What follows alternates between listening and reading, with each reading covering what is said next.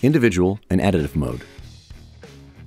Individual and additive mode functionality is built into all the buttons contained in the phones, control room, and speakers section.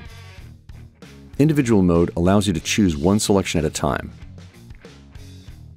For example, in the phones or control room section, switch from iTunes or an online streaming program like Tidal or Spotify via USB, and then toggle over to your final mix via AES or SPDIF, and then to your client's rough mix via Bluetooth.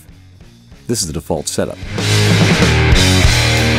Additive mode allows you to select multiple selections simultaneously. Select or deselect any combinations of the buttons in any of the phones, control room, and speaker sections to audition more than one item at a time. For example, trying to track your guitar riff and emulate the vibe from the demo? Play the demo track on Spotify, iTunes, YouTube, SoundCloud, whatever, via USB while monitoring your guitar riffing being recorded by your interface and back out through the sum section. Match up a feel from a loop your clients dropped on you via Bluetooth.